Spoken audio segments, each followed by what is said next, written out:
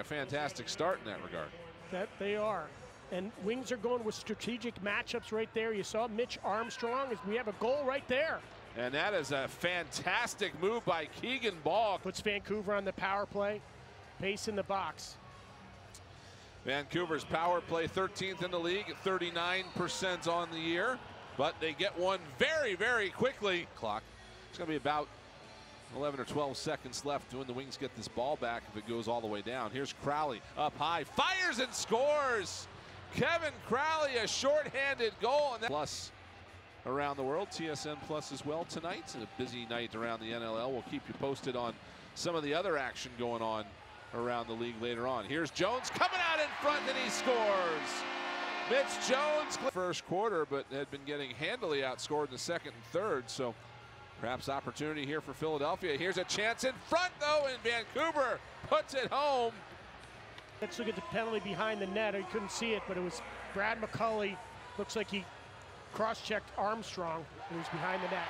And there's a power play goal for Philadelphia as Mitch Jones pulling out of midair by Braden Lady.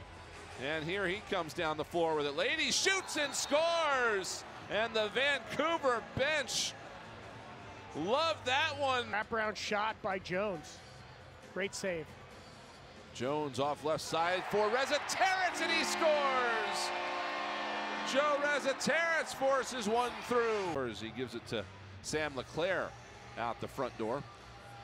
Cattoni on this right side fires and scores. Holden Cattoni overpowers the goaltender. And So it's going to be Vancouver ball to start things off here on the power play. Late penalty for roughing against Ryan Wagner and an early power play goal as Keegan Bal fires at home. Four and nine on the season, 14th place.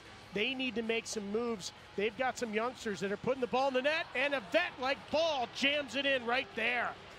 Coming off the bench, and the Wings will move it around. 10 to shoot for Reza Comes out in front, fires and scores! Joe Resetarits skip five on three here for Vancouver. They're executing it as a four on three, and they put it home. As on the right side, it's Martell. Happened. Bal moves it left side. A quick stick shot wide. Bal gets it back. Thinking about it. Now fires and scores. Keegan Bal. Put Here's Bal again, looking for more on that left side, and he puts it home again. What a third quarter here for Keegan Bal. And Vancouver looking to add to this. They've got that lead all the way back up to six. Headed to the net, it's low and it's waved off. After review, the call on the floor has been overturned as the shooter was clean prior to the ball going in. We have good goal. I'm not sure I've seen him on the floor other than face-offs tonight, but uh, his uh, bolstering that part of the game for the Vancouver Warriors, who just got a seventh goal of the game from Keegan Bal. Left side, it's moved out to Bal. Bal, oh, behind the back! Oh my goodness, Keegan Bal with an exclamation point. Why not? Why not make it eight?